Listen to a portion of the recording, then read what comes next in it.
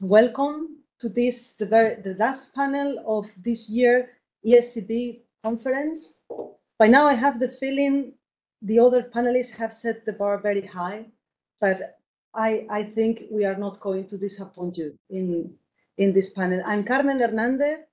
I am a head of section at the legal department of the ECB, and I'm delighted to introduce you to the topic of this panel, which is the national competent authority's duty of assistance and the ECB's duty of diligence when, in performing its supervisory tasks, has to assess anti-money laundering, to which I will refer as AML, and counter-terrorism financing, to which I will refer as CTF.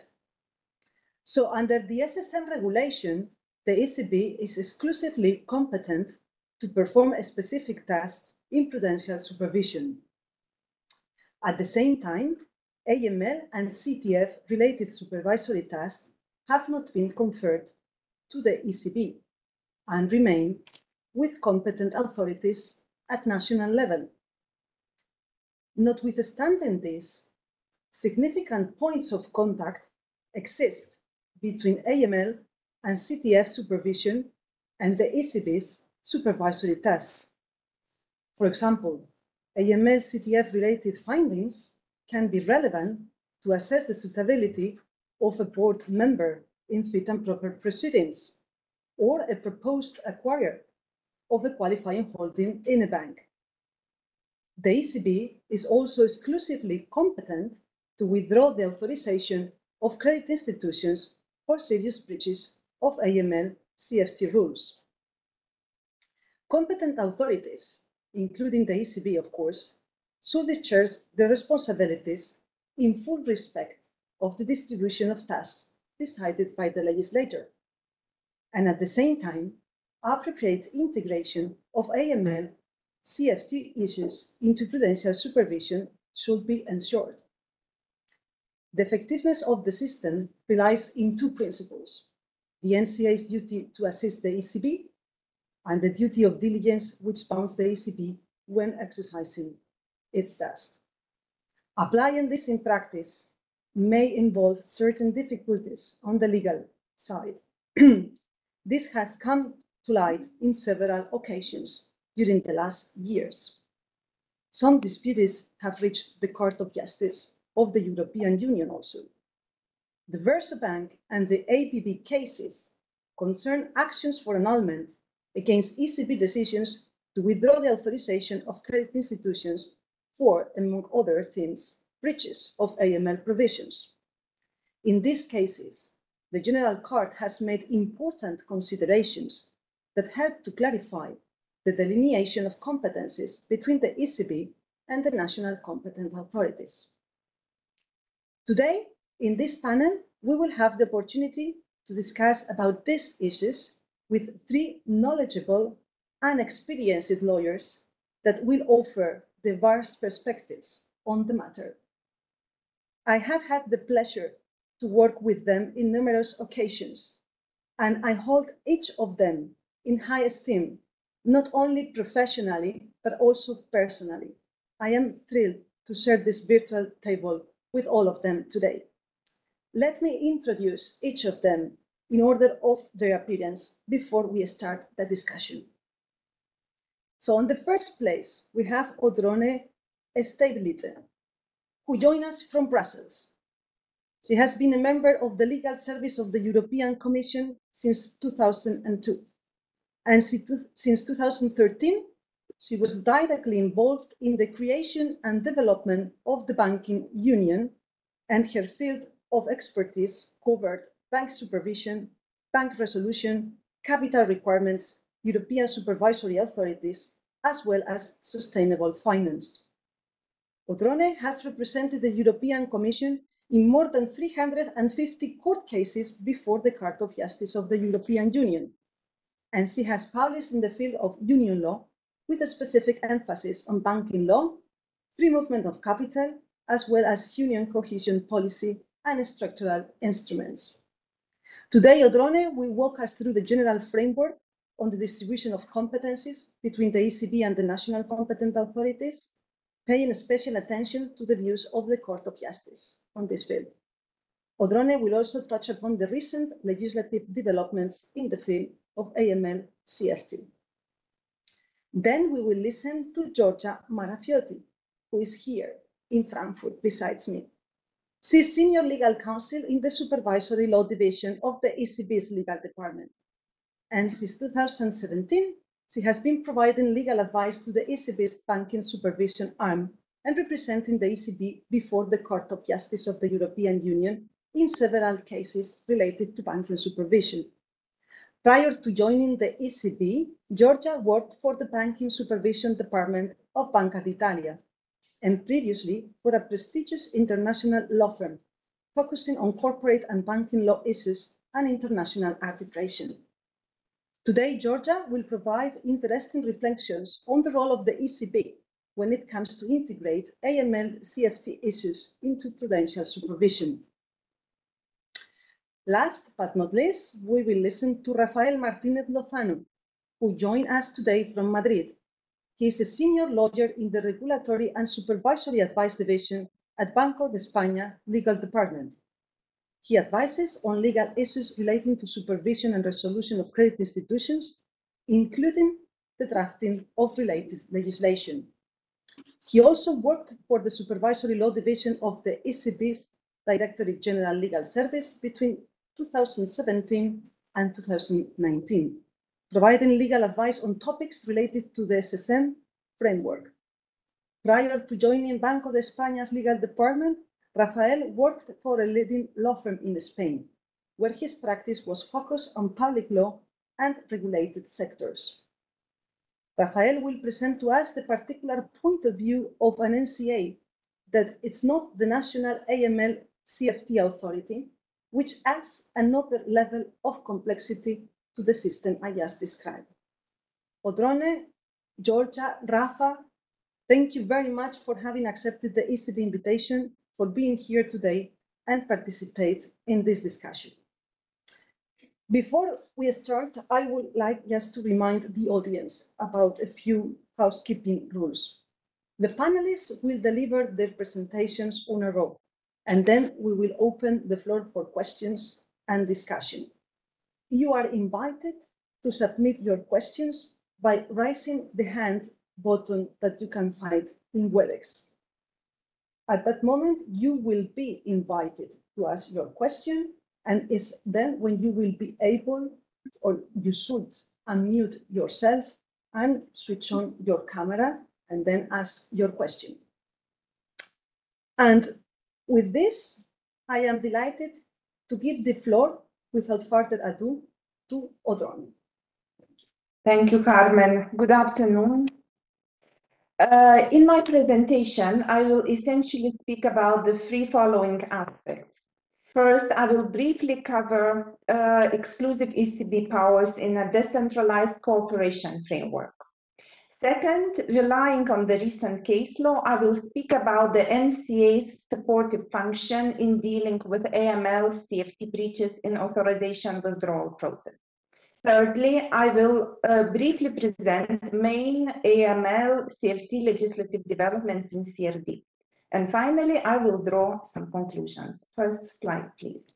The SSM regulation provides that when the ECB exercises its exclusive competences as prudential supervisor, ensuring compliance uh, with the relevant union law, the ECB is assisted by the national competent authorities. The General Court confirmed in its Versobank judgment that the powers which were not conferred on the ECB remain vested in the NCAs. So the SSM centralizes functions related to prudential supervision with the ECB and provides at the same time for decentralized implementation by the NCAs, yet always under the supervision of the ECB, to which the NCAs provide their cooperation and assistance. While the ECB exercises direct prudential supervision of significant credit institutions, the prudential supervision of less significant institutions is part of the already mentioned decentralized exercise of powers by the NCAs.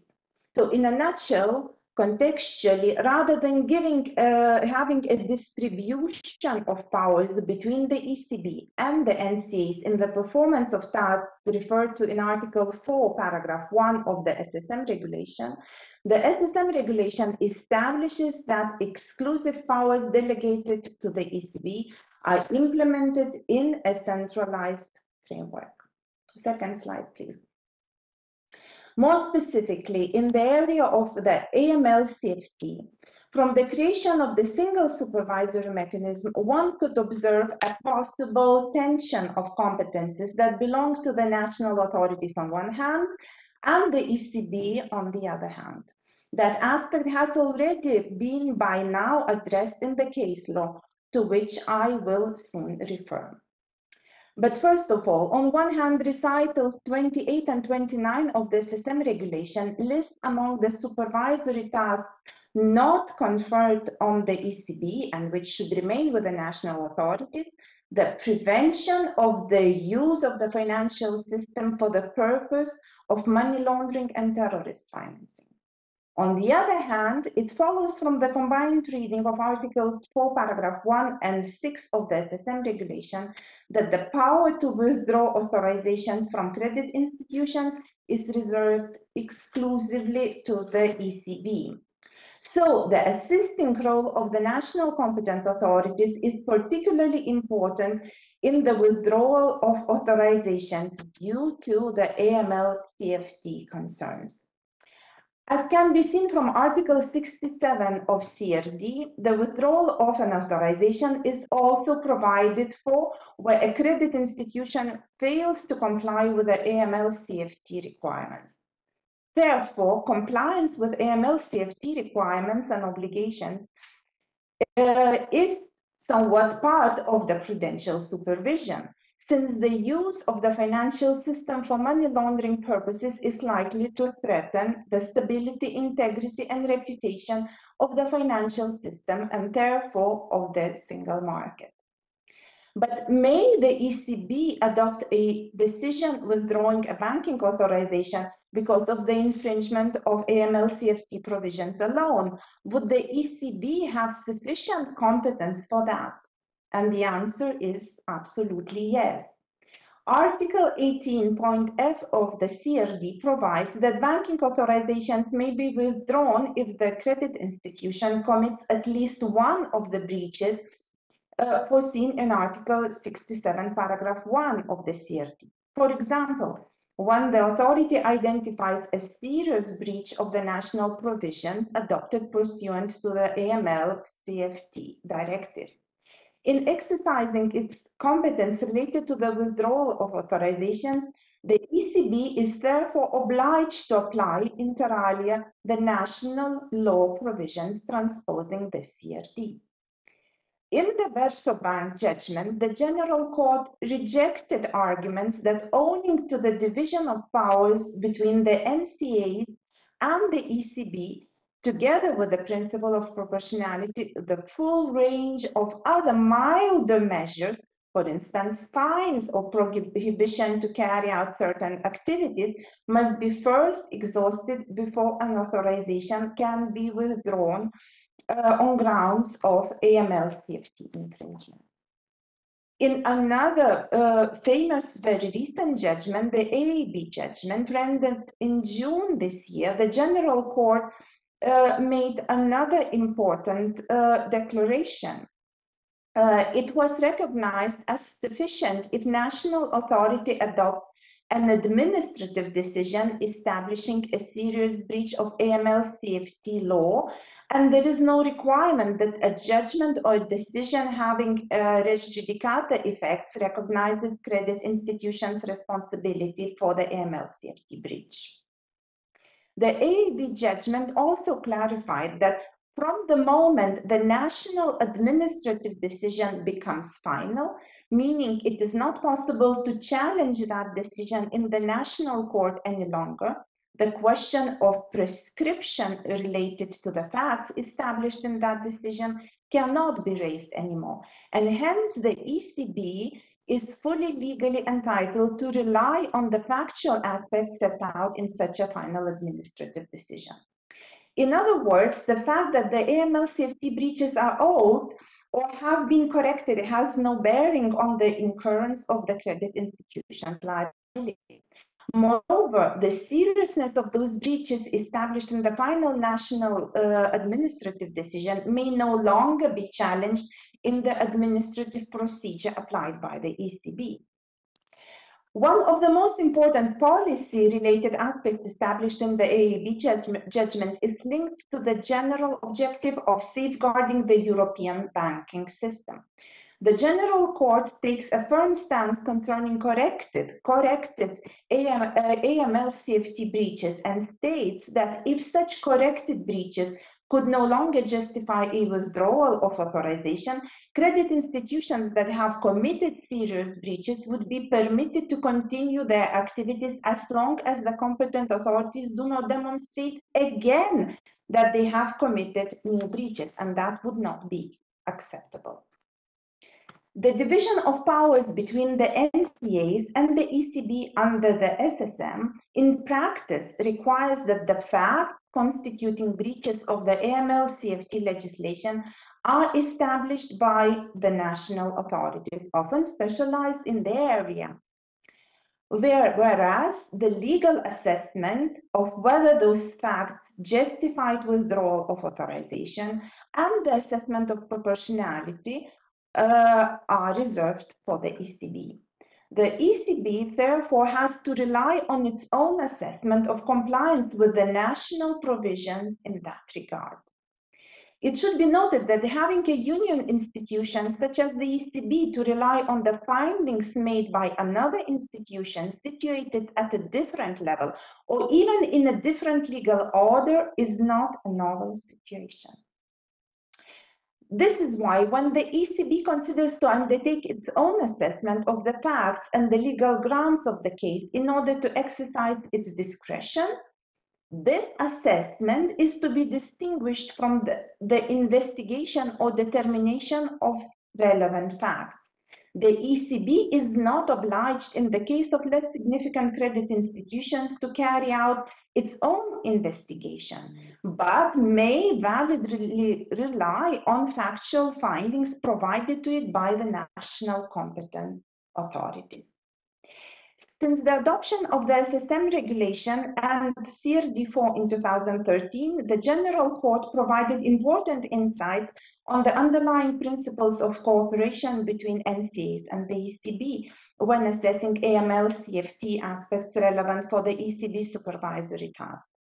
Further developments in jurisprudence are, of course, expected at the very least because the judgment in the Versobank has been already appealed, and the same could also happen for the judgment.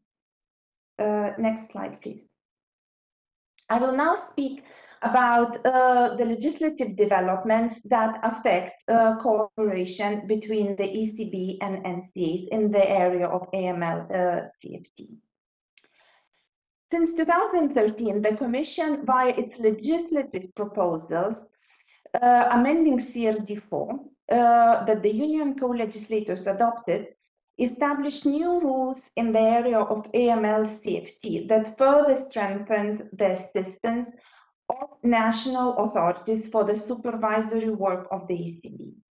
The so-called CRD5 amendment adopted in June 2019 strengthened the obligations of cooperation between competent authorities, financial intelligence units, and authorities entrusted with the public duty of supervising credit institutions under the AML directive.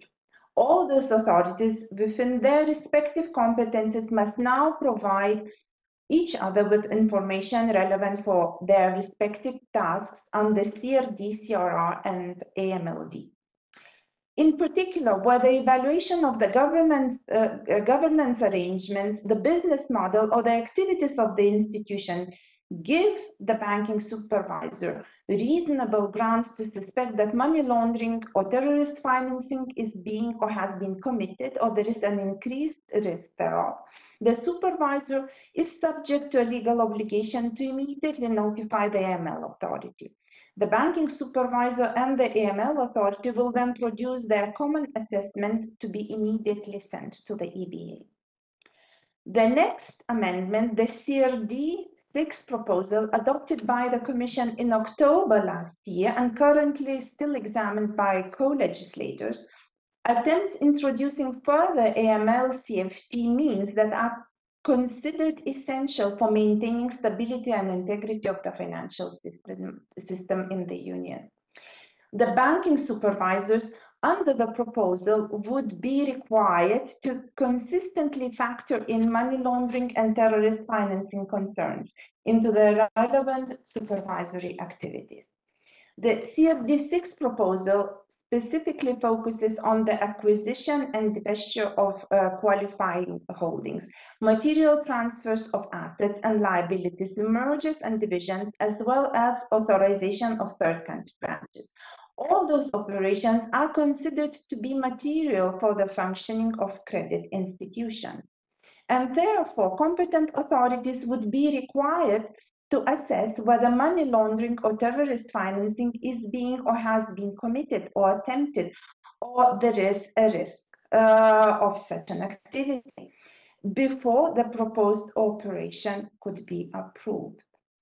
A final compromise between the European Parliament and the Council on the CRD6 proposal is not, however, expected until the end of this year and uh, to be seen how uh, at the end the provisions adopted be uh, specifically formulated. So now I will would, would like to uh, draw some conclusions um, on uh, the debated subject. It is to be considered that exclusive supervisory powers conferred to the ECB by the SSM regulation specifically did not include responsibilities in the area of AML CFT, as those responsibilities were left uh, with the relevant national authorities. The Versobank and the AAB judgments provided dividing lines between the assistance of NCAs and the decisional discretion of the ECB when establishing and assessing AML CFT breaches in the authorization withdrawal process. Those judgments also confirm the autonomous value of the AML CFT related breaches in justifying the withdrawal of authorization.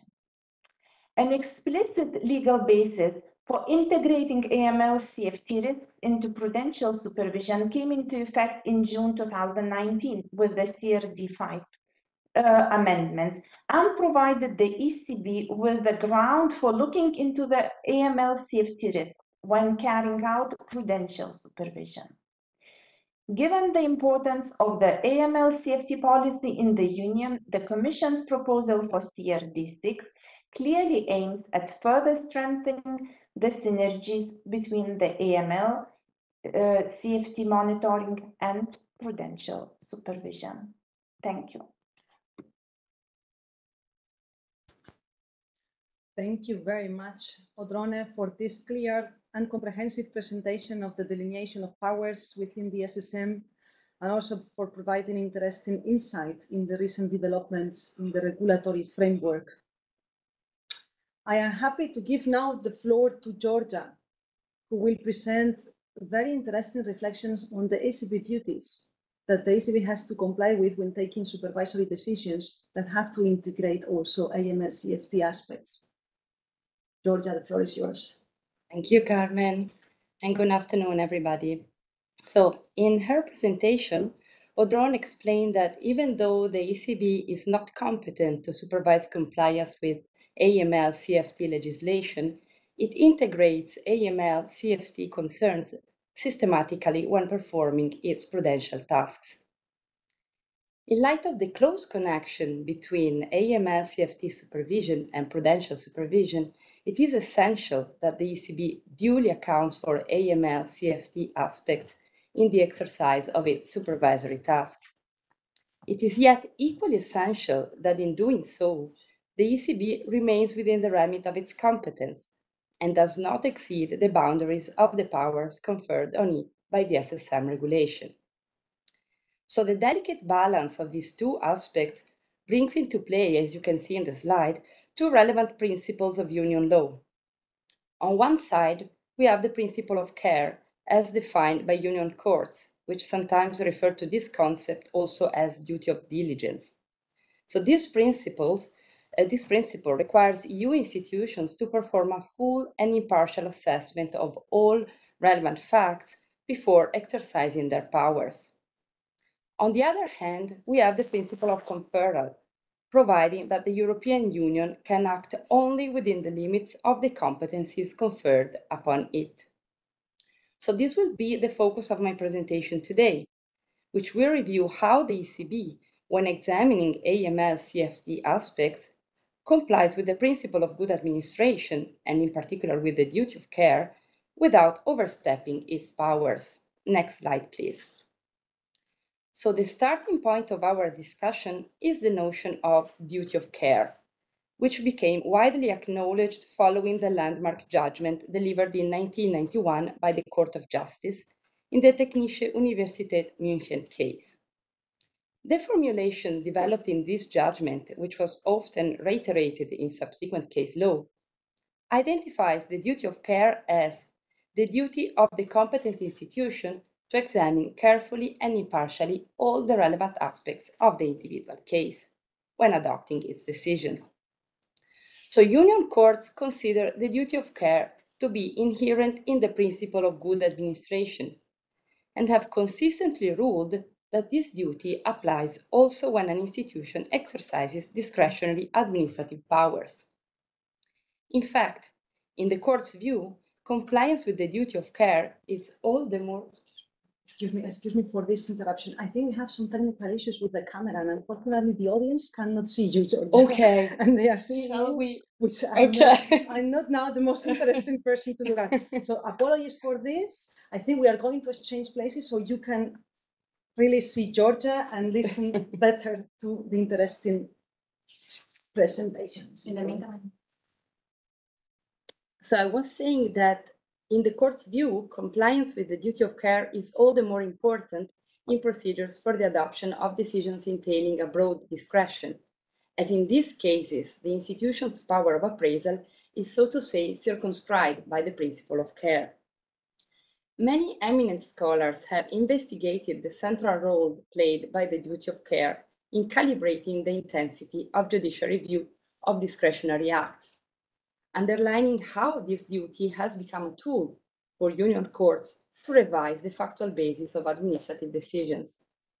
One of these scholars, Professor Hofmann, in his research on the role and scope of the due care requirement, distinguishes two dimensions of the duty of care. The first dimension is the so-called factual element, connected to the fact collection activity underlining administrative decisions, whereby, in principle, all relevant facts substantiating a decision shall be collected by the decision-making authority. Compliance with this dimension of the duty of care requires that evidence collected for the purposes of the decision contains all the information which must be taken into account in order to assess a complex situation, so the most complete information possible, but also that such evidence is factually accurate and consistent, so the most reliable information possible. The second dimension of the due care requirement is the so-called cognitive element, which entails a diligent and impartial assessment of the evidence collected. So compliance with this second dimension of the duty of care requires that the final act can logically be based on and is consistent with the factual and legal elements on which it relies. For decisions entailing a broad discretion, compliance with this second element of the duty of care is all the more important according to the court, because the exercise of that discretion is only subject to a limited judicial review of the merits, confined to examining whether a manifest error has been committed. So the duty of care is therefore a general obligation which union institutions shall comply with throughout the process leading to the exercise of their administrative powers and the adoption of their decisions. It should be noted, though, that the scope of such obligation cannot be defined in, term, in general terms and shall rather be assessed on a case by case basis. The duty of care is therefore, to use the words of Advocate General Szpunar in the recent case SGL Carbon versus Commission, an obligation of variable contours, since its scope is shaped by the provisions determining the powers and the discretion of an administration in a particular case. This is a relevant point for our discussion because it suggests that the scope of the ECB's duty of care not only cannot be at odds with the boundaries to the ECB's competencies, but is even shaped by them.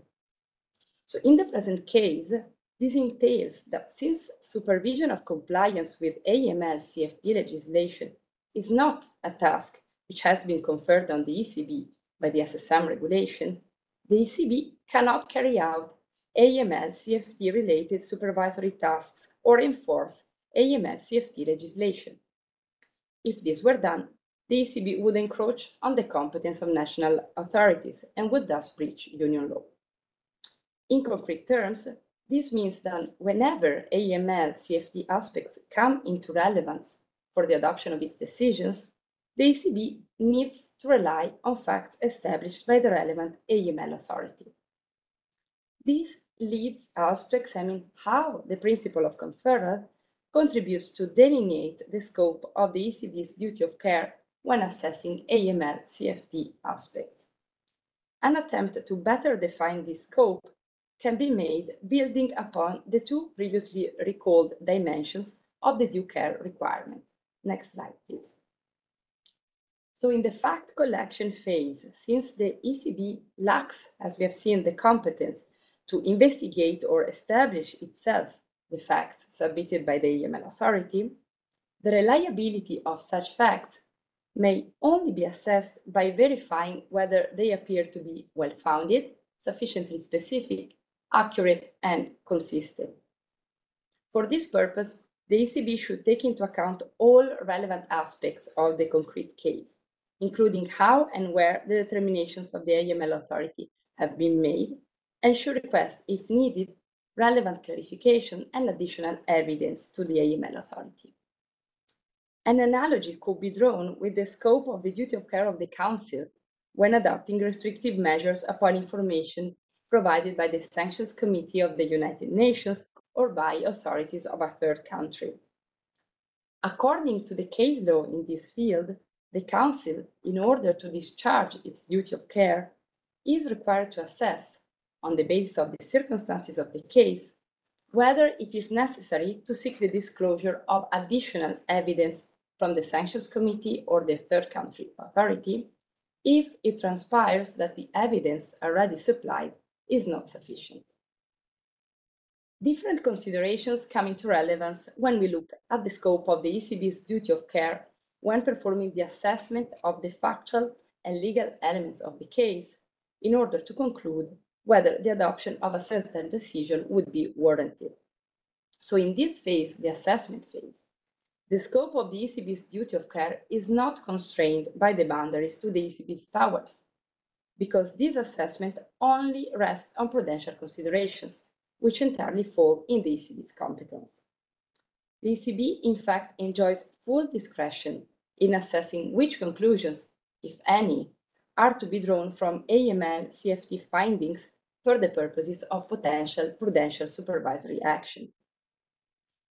A concrete example of how the two dimensions of the due care requirement interact when the ECB examines AML CFT aspects in the exercise of its supervisory tasks can be found in license withdrawal procedures based on serious breaches of AML CFT provisions. Next slide, please. So in this respect, it should be recalled that in the SSM legal framework, the ECB has the exclusive competence to withdraw authorizations of all credit institutions irrespective of their size.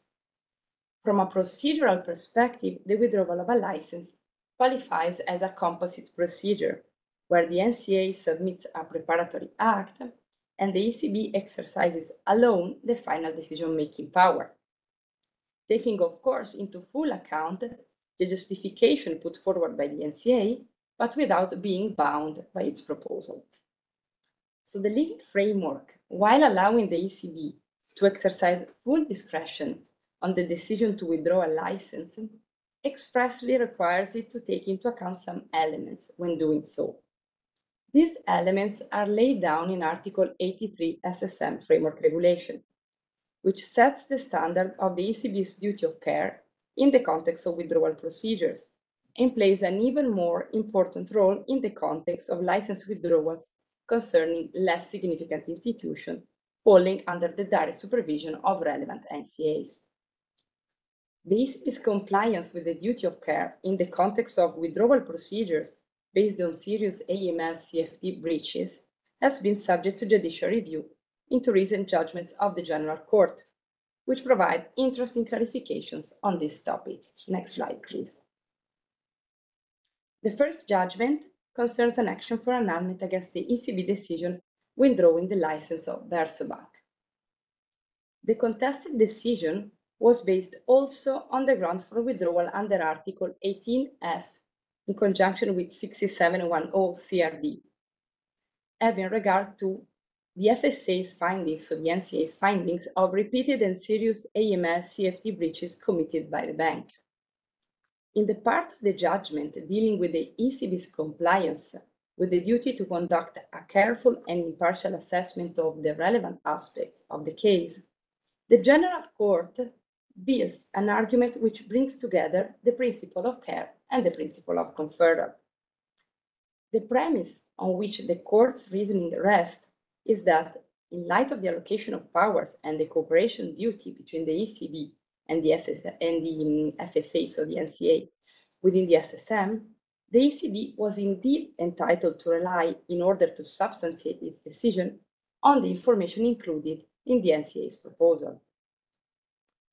Based on this premise, the court further developed its argument with reference to specific facts included in this proposal, namely the FSA's findings of breaches which have not been properly challenged by the bank, I'm quoting the judgment here, and considers that these findings had to be treated by the ECB as established facts and as not requiring for that reason a review by the ECB.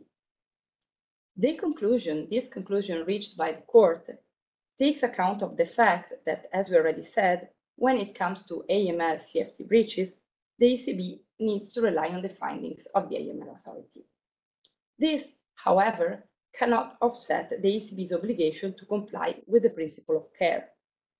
A relevant indication in this direction can be found in the prominence given by the court to the fact that in the present case, the breaches had not been properly challenged by the bank. So this is an element which corroborates the reliability of the FSA's findings. It is therefore only after having assessed that these findings constituted a complete and reliable set of information that the ECB had to consider them as established facts, and again quoting the court, rightly confined itself to verifying whether they indeed constituted grounds justifying the withdrawal of authorization. Next slide, please. The second judgment, providing relevant clarifications on the scope of the ECB's duty of care in the context of withdrawal procedures, concerns the action for annulment against the ECB decision withdrawing the license of Anglo-Austrian Bank, so AAB Bank. In this judgment, the court reviews the ECB's compliance with the duty of care, drawing a distinction between the two grounds for withdrawal on which the contested decision was based. As concerns, on the one side, the ground related to serious AML CFT infringements, the court notes that the ECB complied with the duty of care because it demonstrated the existence of relevant facts justifying the withdrawal of authorization by relying on available evidence, such as, for example, decisions of the national authorities, so the FMA in this case, and rulings of national courts. Therefore, the ECB did not simply refer to the breaches laid down in the FMA's proposal, but it ascertained a constaté in the judgment for the purposes of the examination of facts and evidence available that the bank had been found liable of serious AML CFT breaches. As concerns the ground for withdrawal relating, on the other hand, the failure to have in place appropriate and robust governance arrangements, which is a matter that, contrary to AML CFT aspects, falls squarely within the ECB's competence, the court notes that the ECB complied with the duty of care because it verified itself the breaches of prudential provisions ascertained by the FMA, meaning that the ECB based its decision on its own assessment of compliance with national provisions transposing Article 74 CRD in the Austrian legal framework. So the findings of the court in the AAB bank case, therefore, confirm that compliance with the duty of care is to be assessed against the scope of the ECB's competence. Next slide, please. While the Versobank and AAB bank judgments offer a valuable contribution in clarifying how the ECB should integrate AML CFT concerns in withdrawal procedure, they still leave open the point concerning the scope of the ECB's duty of care in the exercise of other supervisory tasks, such as, for instance, the assessment of qualifying holding acquisitions. Interesting questions which arise in this respect concern, for instance, the scope of the ECB's assessment of criterion under Article 23 1E CRD, so the criterion related to suspicion of money laundering or terrorist financing or the increased risk thereof. And of course, the standard of reliability for evidence substantiating such criterion. Further reflection, uh, in my view, would be warranted on these aspects, which deserve particular attention also in light of practical implications they may have on the interaction between the ECB and national authorities in the context of qualifying holding procedures.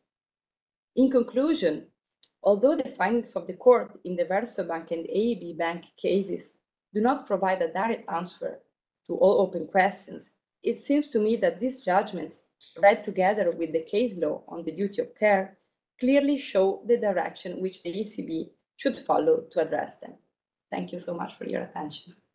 Thank you very much, Giorgia, for this interesting presentation and also to bring into our attention interesting open questions that on which I fully agree with you, further reflection, it's needed. I am looking forward to listen to Rafael now, who will bring the interesting perspective of an NCA, and as we will hear in a minute from Rafael, an NCA that also has its own specificities that make it very even more interesting. Thank you. Rafa, the floor is yours. Okay, many thanks, Carmen, Odron, Giorgia. Hello, everyone. Please, let's move to the slide with the agenda, please. The second one. Well, the purpose of my presentation is to fairly describe a bit the particularities of the Spanish framework on the supervision of anti-money laundering and also presenting you some legal challenges that Banco de España faces as prudential supervisor. Then I will raise some open questions and reflections on the potential impact that recent court cases like Versobank may have on the prudential supervisory practice followed so far.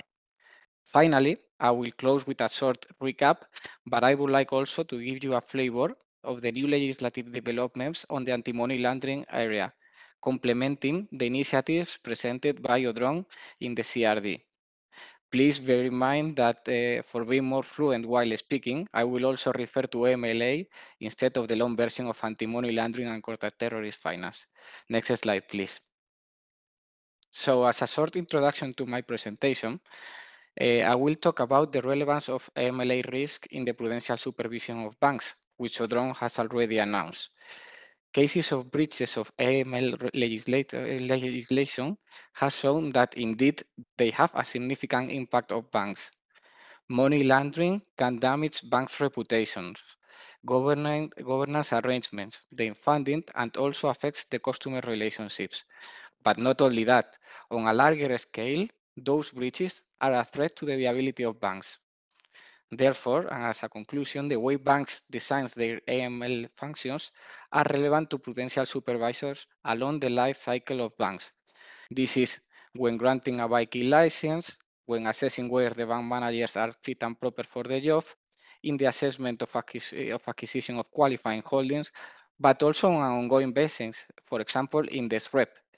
Finally, the competent authority should also take them into consideration to assess whether and when a bank license should be withdrawn due to AML breaches. The impact of MLA risk in the prudential supervision has been already acknowledged by European eh, legislators who have been taking steps to strengthen the link between AML and prudential supervision.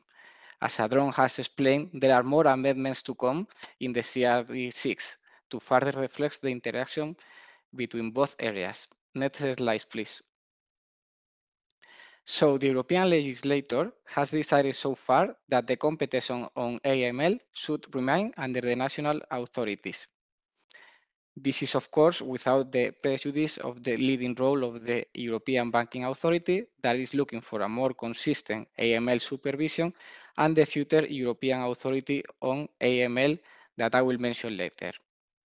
As there are evident links between AML and prudential supervision, in the vast majority of SSM jurisdictions, national legislators has opted for allocating the supervision of AML risk also to the prudential supervisor. However, in other jurisdictions, like Spain or Malta, and at, at, the SSM level, the ECB, the AML authority is not the same as the prudential supervisor. As a consequence, as a consequence in, in these scenarios, it is essential that both supervisors exchange information and work very closely. In any case, the delineation of risk and competence between AML and prudential framework is not so easy. On the table showed on the slide, I describe the main differences between both frameworks. However, I will only mention the purpose. So while the prudential framework look for ensuring the safety and soundness of banks with the objective of protecting depositors and maintaining financial stability, the AML framework is most focused on verifying that the obliged entities, which goes beyond banks and financial institutions, have in place proper procedures and safeguards to avoid money laundering, as well as to collect and analyze suspicious transactions.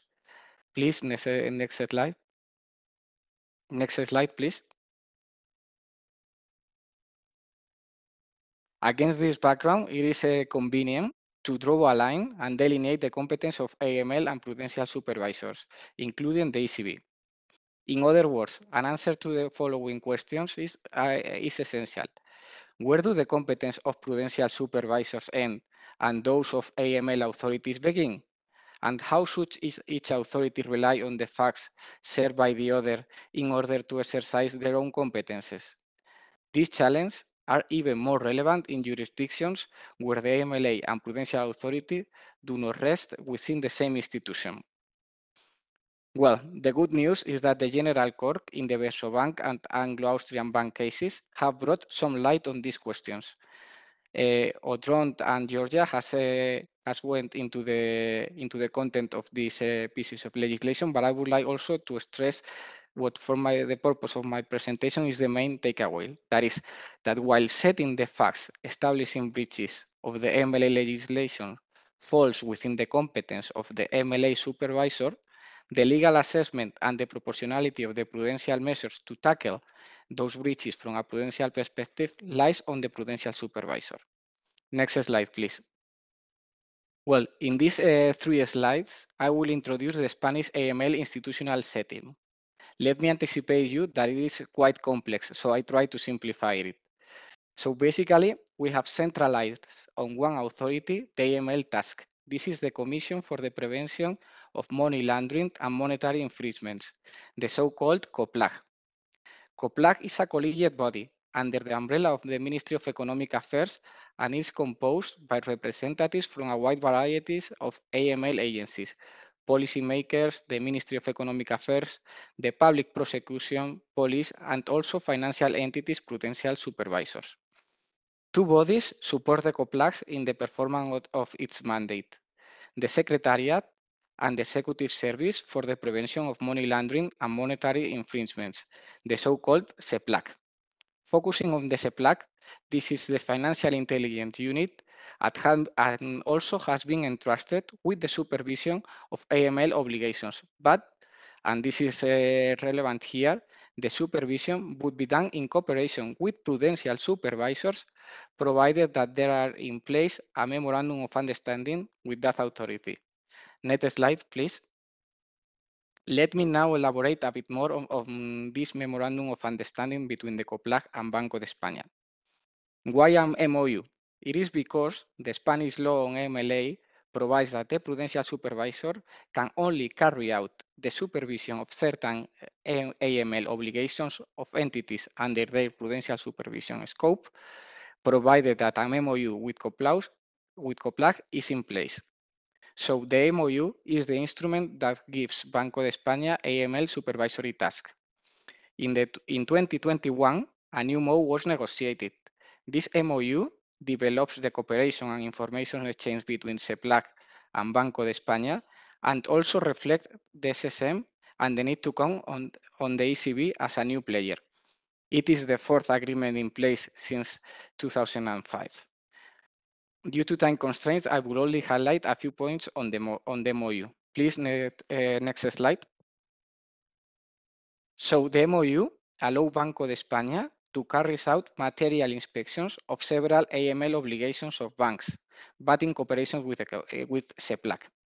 The MLA obligations that are assessed by Banco de España are those procedures and arrangements of banks related to due diligence, reporting obligations, and internal control. However, please be, uh, keep in mind that COPLAGs retain the authority to issue binding requirements or impose sanctions. So then, how this uh, framework work in practice? In practice. So basically, when Banco de España carries out AML inspections, it can directly issue recommendations to bank to overcome the AML deficits. This is done on the inspections report. However, if Banco de España considers that the deficiencies imply breaches of AML regulation, it should draft a report to COPLAG proposing to either issue a binding request and or to open sanctioning procedures.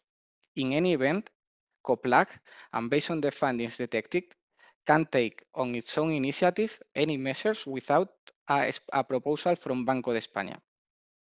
It is uh, worth saying that if Banco de España considers that those breaches of AML obligations have a prudential impact on the banks, it will be for Banco de España or the ECB in their capacity of prudential supervisors to take the appropriate prudential measures over the credit institutions. Finally, in my opinion, this uh, Spanish framework is compatible with the Versobank judgment. Uh, let's move into the next slide, please. In this slide, you can see the difference of scope of MLA supervisory tasks between SEPBLAC and Banco de España. While SEPBLAC is in charge of the supervision of the whole catalog of obliged entities, Banco de España's tasks are limited to the financial entities subject to the prudential supervision. The main reason for centralizing at national level the supervision of all AML obliged entities is to reach a consistent domestic supervision in the field of AML. Next slide, please. Now let me go uh, on to the main legal challenges that Banco de España faces uh, from a legal point of view in its capacity as prudential supervisor. The first one that I would like to talk concerns the allocation of competence to withdraw the banking license due to breaches of AML. In the Spanish legal framework, the withdrawal of license due to serious breaches of AML is only provided as a sanction in the law transposing the AMLA directive, but is not provided as a ground for withdrawal in the transposition of CRD. Moreover, the competence to impose such sanctions is for the Council of Ministers at the proposal of Ministers of Economic Affairs and with a report from the supervisory authority. Let me stress that this distribution of powers under the Spanish framework fits in the MLA directive. In particular, the second paragraph of Article 58 of the directive allows member states to decide which national authority will be the competent authority for AML tasks including for the imposition of the sanctions, such as the withdrawal of the authorizations. Moreover, please note that the paragraph 5 of the mentioned Article 58 the AMLA authorities may exercise their powers to impose sanctions directly, but also in collaboration with other authorities. Therefore, the allocation of the competence to the Council of Ministers for the imposition of such sanction would be the option chosen by the Spanish legislator within the margin of discretion provided by the AMLA directive. However, it is worth saying and recognize that this national regime seems not to be aligned with the distribution of competence established in the SSM regulation. Indeed, according to the SSM regulation, it will be for the ECB the exclusive competence to authorize and withdraw the banking license of both significant and less significant institutions, and also in cases of withdrawal due to AML serious breaches. This exclusive competence of the ECB has been endorsed by the General Court in the Versobank and also in the Anglo-Austrian bank cases. So what should we do in this context? Although in our jurisdiction we have not faced yet any withdrawal due, uh, withdrawal license due to uh, breaches of AML rules, the legal conflict could be overcome by invoking the primacy of EU law and the direct effect of EU regulations. However, and among us, I would rather prefer an amendment to, the, to our national legislation in order to solve this misalignment. Please, next slide. The next challenge that I would like to talk about is regarding the way risks related to MLA are considered in different prudential supervisory procedures, in particular, qualifying holding and licensing. In both procedures, the Spanish framework required a report from the AML authority assessing the AML risk of the transactions or the way and the procedures and mechanisms for dealing with money laundering risk in case of authorization procedures. As in the Spanish framework, the MLA and Prudential Authority differs, the approach followed so far by Banco de España's prudential supervisor is to rely on the judgment of the MLA authority when assessing the AML risk in those supervisory procedures. The open question that arises here is whether the recent Versobank ruling would affect the practice followed so far. In my personal opinion, the reflections made by Giorgia regarding the duty of diligence are also ap uh, applicable to ECB, would also be useful for Banco de España in its capacity of prudential supervisor. However, as he mentioned, there are still open questions on how should the duty of diligence apply when assessing the risk of money laundering in a qualifying holding. Next slide, please. Well, if, science, if time constraints allow me, I would like to finish my presentation with a short recap. The first one concerns the national regime of the allocation of MLA task. As I mentioned, even if a centralized supervision of MLA obliged entities could have a few advantages, like domestic consistency, we have uh, seen that it has also some challenges. It is more complex and hinder coordinations between relevant authorities. There is a clear link between AML and prudential risk. This framework is not aligned with the predominant uh, institutional setup in place in, in nearly all European countries. Therefore, in my opinion, an allocation of the supervision of MLA obligations related, for example, to internal controls and governance arrangement with decision powers to Banco de España could benefit from the synergies coming from the prudential supervision and would also contribute to uh, institutional efficiency. The second takeaway is that the recent court cases, Versobank and AAB Bank cases, give us some food for thought on the way prudential supervisory prudential authorities should use should use relevant AML facts. The last reflection that I would like to make is a look into the near future. As you all know, the EU approach in the AML field was basically based on a minimum harmonization directive with a strong focus on national law. However, money laundering cannot be fought in isolation. Complementing the developments explained by Audron in her presentation, the European legislator is taking steps towards harmonizations on the approach to tackle AML issues. In particular, I would like to mention three instruments of the new proposal of the AML legislative package. The first one is the draft regulation establishing a new European authority with supervisory competence on AML. It will be a central authority that will coordinate national authorities to ensure that private sectors consistently applies the EU rules. it will also exercise direct supervisions over certain financial institutions. There will be also a new AML regulation with direct applicable rules that will go deep on the harmonization at European level of certain AML obligations like due diligence. And finally, the legislators are also working on, up, on an update to the directive on AML that will be the sixth, which intends to reinforce the powers of national supervisions and financial intelligence unions and will also increase harmonization. That would be all from my side. Thanks a lot for your attention. Thank you very much to you, Rafa, for adding this interesting perspective of, of, of an NCA, also for sharing with us very relevant reflection. And very special thank you for the three panelists for being so mindful of the time and so efficient in their presentation which allow us now to have a rich discussion. Let me remind you about the rules to ask questions. I said at the beginning, just use the hand button in your WebEx. And at that point, you will be invited to ask the question. In that moment is when you have to unmute yourself and switch on your camera so we can all listen to your questions. So while we wait uh, to the audience, uh, from questions from the audience, I may start with one myself that I, I can share with, with the panelists. I invited any of them who would like to, to reflect, and it's related to the, to the notion of breach of AML and CFT requirements.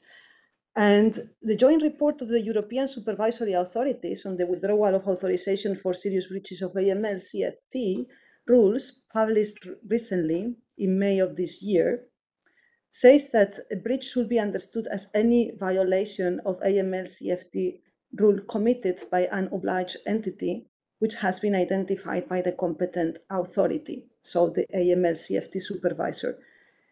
I personally find this definition very sensible, and in my opinion, it's fully in line with the way the ECB has applied this the notion of breach in practice. But I will be particularly interested in the views of the panelists about the way the, the AML CFT competent authority should identify this breach. I, I, personally will say that the legal provisions and also the recent cases to which you have referred uh, during today's panel do not impose any limitations or formalities on how this determination or identification of the breaches is done by the competent authorities.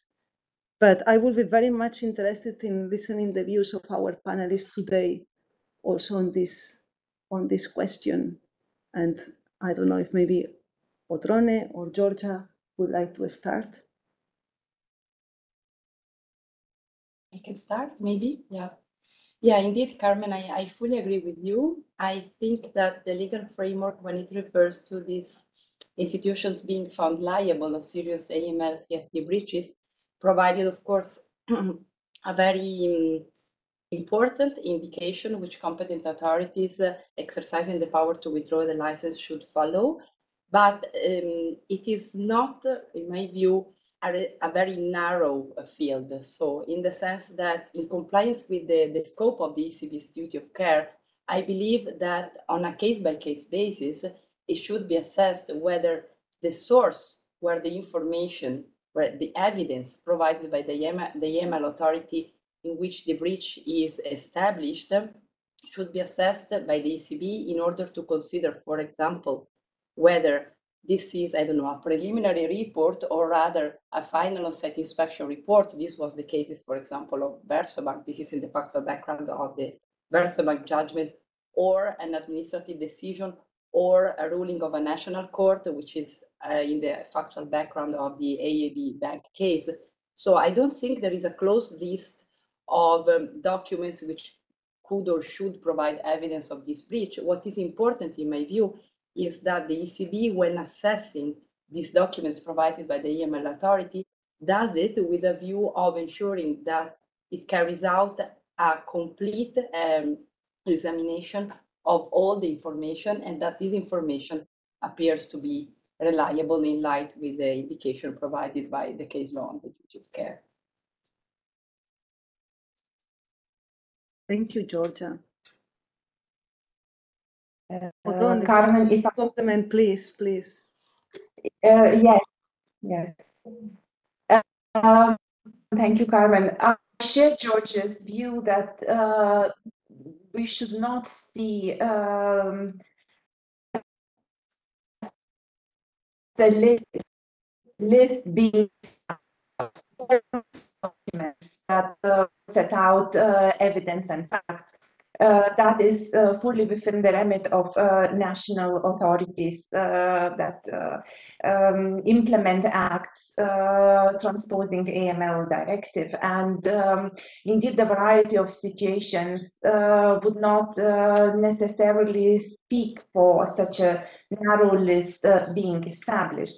we've already discussed in this panel that um, the evidence and facts uh, fall within the competence or establishment of uh, facts and evidence fall within the competence of the national authorities uh, that follow the relevant national procedures for that purpose. And uh, the ECB, uh, nevertheless, uh, even if it has to rely on the facts and evidence obtained um, from the national authorities, it carries out its own uh, assessment uh, and legal appreciation because at the end, uh, for instance, more specifically the withdrawal of banking authorization, it is uh, the ECB uh, that has to defend its decision um, in court, and that's why this assessment that the ECB can out is of uh, uh, ultimate importance in order of uh, I'm, I'm sorry, I'm sorry, we are facing some technical issues. We cannot hear you. Sorry, and we cannot hear you very well. The connection got interrupted, but but at least myself, I could get that you were following a bit the same line as Giorgia. It was a bit unfortunate that with the connection we, we didn't we could not hear absolutely everything you said, but I think I am I can say I understood that you are very much in the same line as Giorgia, right? Yeah. Yes, that's correct. Thank you. Thank you, Thank you very much, Odrone. I hope we can thank you. I hope we can reconnect soon fully with you. In the meantime, I see we have uh, questions from, from the audience. First one is coming from Giovanni Bassani.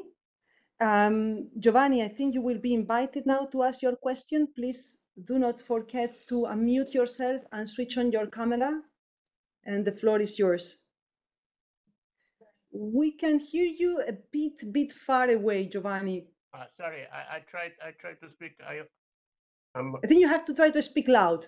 Okay, I, I will try to speak louder. So thank you for the presentation. I think it was very clear, and also this uh, general distinction in the in the framework between uh, assessment. I mean, verification of the facts and assessment of the facts, uh, whether they amount to, to justifiable grounds uh, for withdrawal, or I would say, in the case of qualifying only for objection my question is more related to, to, to the future because um, I, I, discovered recently that actually in the um, CRD6 proposal from the from the Commission, uh, this uh, sort of neat uh, separation and distinction would be actually, at least for, for qualifying holding, would be um, obliterated because my understanding is that the, the, the, proposal from the Commission would actually give a sort of uh, uh power for the national um, anti-money laundering authorities to object to a transaction, uh, at least uh, as far as I understand, only for qualifying holding, not for withdrawal. So this distinction would, would be maintained for the for the for the withdrawal uh, of a license, but to object uh, to a, a, a, an acquisition of a qualifying holding, and if this acquisition is in writing, the ECB or potentially in other member states, other um, supervisory authorities, can only take note of this objection and oppose the acquisition. and this seems to be really a very significant change in this neat distinction and separation of, of, of competencies, where actually the National Anti-Money Laundering Authority would have a sort of uh, veto powers uh, on what uh, the, the, the, the, Prudential Supervisory Authority is actually going to do. I was wondering how much this uh, significant change has been thought through and also for instances, for aspects are related in, in, in the case of the ECB, or changes also in the jurisdictional competence or challenging, challenging this, this, this uh, supervisory decision, because it will probably go back to the national courts. So it seems to be a, a very significant change. I'm not sure uh, how much this this this change of, of, of, the general framework has been actually um, thought through. Thank you. Thanks a lot, Giovanni. I'm thinking as, as the question concerns the, the Commission pro CRD proposal, Odrona, you, you may want to start sharing something. All right. Do you hear me? Yes. All right. Uh, so indeed, uh, the provision uh, on qualifying uh, holdings um, is one of those that uh, is subject to the CRD law. Yes, we hear you, Odrone. Maybe if you okay, try to switch off the video, it's a bit better. I want to try? Some strange mm, no. Okay. Um, yeah, I think so. Maybe the technical service could call on my GSM? I, unfortunately, I think we have some difficulties to follow uh, Odrone. Do, do you hear me? Now, yes. Let, let's give another try. All right.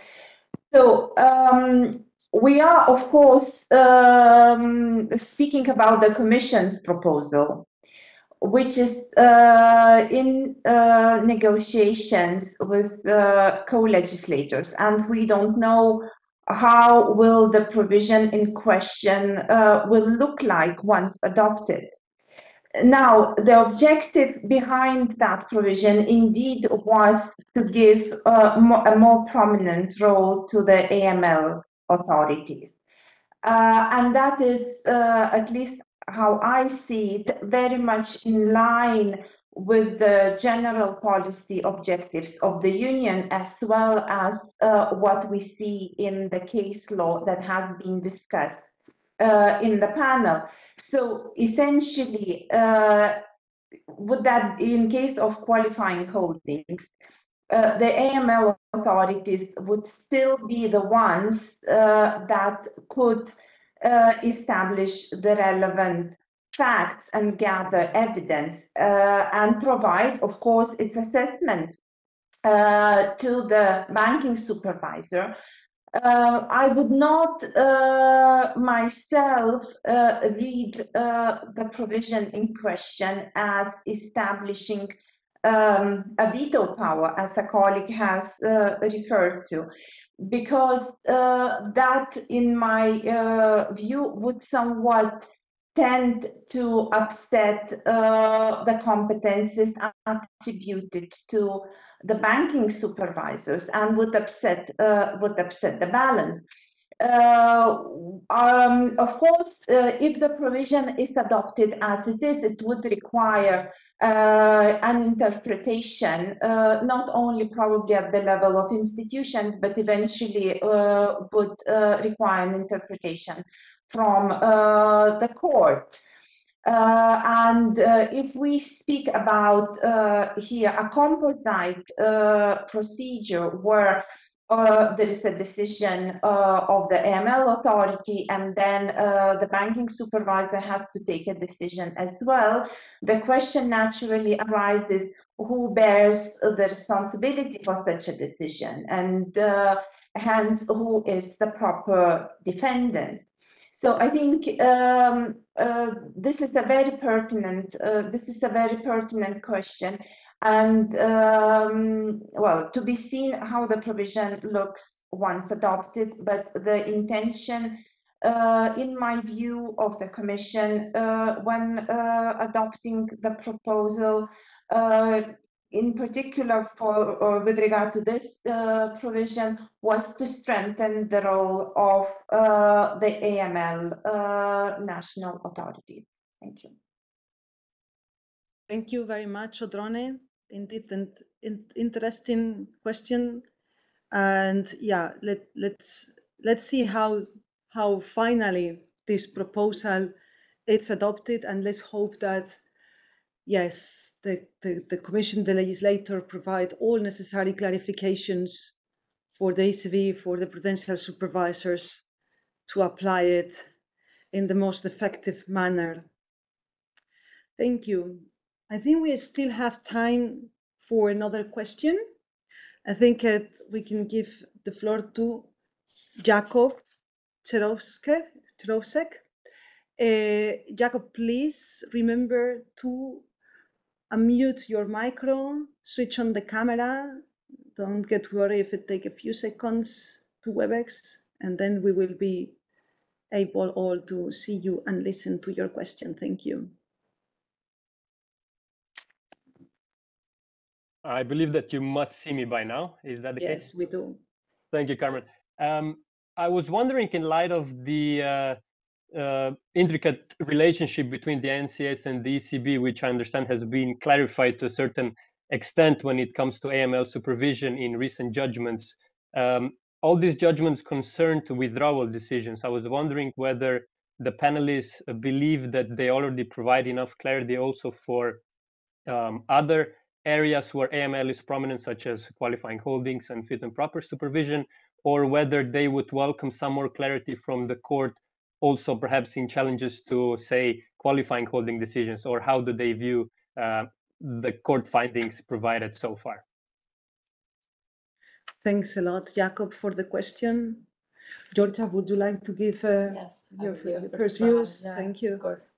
So indeed jakob uh, i fully agree i mean we have seen uh, thanks to Odrone and, and Rafa's presentation that the Union legal framework requires the ECB to take into account the AML CFT aspects when performing uh, its uh, supervisory tasks. We have also seen that the judgments in Versobank and the AAB Bank, um, in these judgments, the General Court considered that indeed, while the competence to uh, supervise compliance with AML provision is a competence which remains with national AML authorities, the ECB still has a duty to perform a diligent examination of the findings of such authorities to the extent these findings are relevant to substantiate the ECB's own decision. So I believe that this conclusion is applicable to all uh, the um, other supervisory tasks uh, to the extent in which the ECB, in the exercise of them, uh, takes into account or factors in AML CFT considerations. So I'm thinking, of course, about other qualifying holding procedures, so license, uh, granting of a license, um, qualifying holdings, but also, as you correctly mentioned, uh, fit and proper assessments, but also ongoing supervision itself. So all these cases in which, for example, AML deficiencies could be a symptom of unsound governance or deficiencies in the internal control mechanism. Um, so I think we have uh, this important indication from the court. I also believe at the same time that for specific supervisory tasks, uh, um, additional clarifications from the court concerning um, a more precise delineation of the scope of the ECB's duty of care would be welcome. Um, I have in mind again the topic of the qualifying holding procedure because this is a very different procedure from the withdrawals. So for example, the type of evidence which usually substantiates a potential negative qualifying holding, so the opposition to the acquisition of a qualifying holding, is evidence which does not relate uh, or does not only relate to past facts, uh, such as in withdrawal cases or these breaches of AML provisions. It's also or mainly a forward-looking assessment. So this is a different type of evidence. It would be interesting to know how the court considers that the ECB should assess this evidence, which is more an assessment as this component of an assessment of a forward-looking assessment. And in addition, the, the very same provision under Article 23, paragraph 2, uh, um, stipulates that the ECB may oppose the acquisition of a qualifying holding when there are reasonable grounds to consider that relevant criteria are met. And this is also an interesting point. So when is this forward-looking evidence conclusive to uh, achieve uh, the determination that the, the criterion is met? Because this reasonable ground seems to point to a different um, standard compared to the standard of conclusive evidence which is required for withdrawal decisions. So these are all points which differentiates a bit the type of assessment um, of a qualifying holding acquisition and of a withdrawal decision on which I, I believe, I personally believe that um, further clarifications from the general court, from union courts would be, would be welcome. Thanks a lot, Giorgia. I don't know if Odrone or Rafa would like to share something on this also. Uh, very briefly, I would like to mention uh, the judgment of uh, 2018 in the Berlusconi case, where um, uh, the court examined uh, the ECB decision opposing um, an acquisition of a qualifying holding um, by uh, a company owned um, by Mr. Berlusconi, who was convinced, uh, convicted uh, of a tax fraud. Of course, we are not speaking about the AML CFT breaches, but we do have this very prominent judgment of 2018 uh, uh, Uh, uh, regarding qualifying uh, holdings uh, procedure that was applicable at the time. And I would suggest also not to forget this judgment that could be reread looking for some interesting insights. Thank you. Thanks a lot, Odrone, and, and thanks for, for spotting this, which is fully true. And we have this very important case concerning the allocation of competencies in the field of qualifying holdings, indeed. From what I can see, I think we do not have other questions from the audience. And therefore, this, I think with this, we are bringing to an end our discussion today. I would like to thank again the panelists for the interesting presentations and for being here, and also all the audience for listening to us. I saw that we have had 102 participants, and also we had very stimulating questions. I thank you all also for this. I would like to remind you that we will resume at quarter, past four with Chiara's concluding remark and to close the conference. So I think we have now time for a little break. And I'm looking forward to see all of you again or to, to welcome you again for the conclusion of the conference in 15 minutes. Thank you very much again for your participation.